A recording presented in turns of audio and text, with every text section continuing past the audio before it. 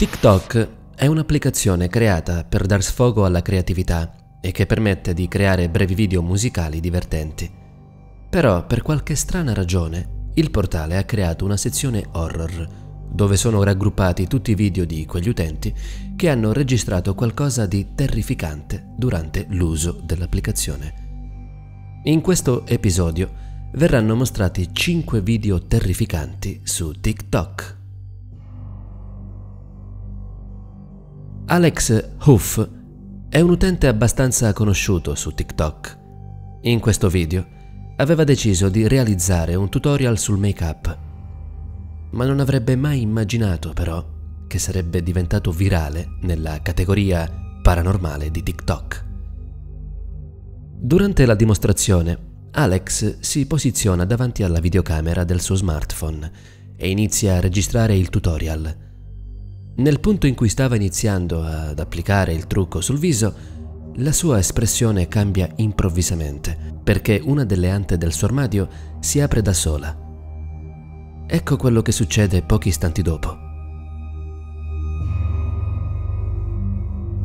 Alla fine dello strano episodio, la ragazza prende il telefono e interrompe la registrazione, probabilmente per scappare via dalla stanza. Una sera Billy Golf, uno dei milioni di utenti di TikTok, decise di realizzare come di consuetudine uno dei suoi classici balletti salendo sul mobile della cucina. Ok, questa non è una delle cose più intelligenti da fare, però l'inquadratura della sua videocamera è focalizzata su di lui, ma l'obiettivo riprende anche la porta alle sue spalle ed è proprio lì che ad un certo punto del video accade l'inaspettato. Un'ombra che assomiglia al corpo di una persona passa dalla porta. Secondo quanto testimoniato da Billy, lui si è accorto della stranezza solo dopo aver caricato il video sull'app ed è grazie ad alcuni dei suoi seguaci che gliel'hanno fatto notare.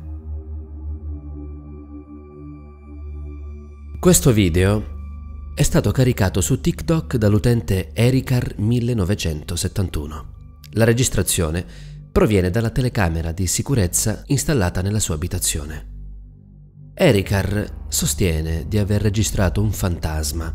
In effetti la clip è decisamente inquietante, perché si vede qualcosa di non ben definito, ma simile ad un uomo che cammina verso la recinzione. Secondo quanto testimoniato da Ericar, lei crede che la misteriosa figura potrebbe essere suo padre morto il 26 novembre dello scorso anno.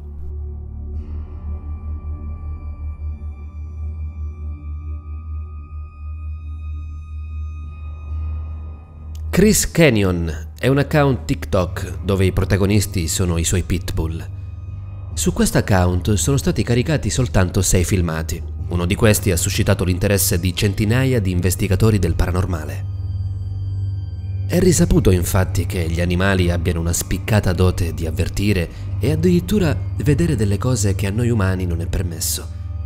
In questo video, uno dei suoi pitbull ha avvistato qualcosa di strano. Tutto accade molto velocemente, ma è abbastanza per scatenare nell'animale questa reazione. Rallentando il video, è possibile intravedere l'anomalia, che a differenza del suo proprietario l'animale percepisce e segue con lo sguardo, ululando come se volesse comunicarlo. Questo è uno dei video horror di TikTok più strani e davvero inquietanti. Io non saprei dirvi se è frutto della manipolazione grafica, però merita di essere visto. La ragazza dopo aver caricato questo video ha deciso di eliminare il suo account non si sa per quale motivo.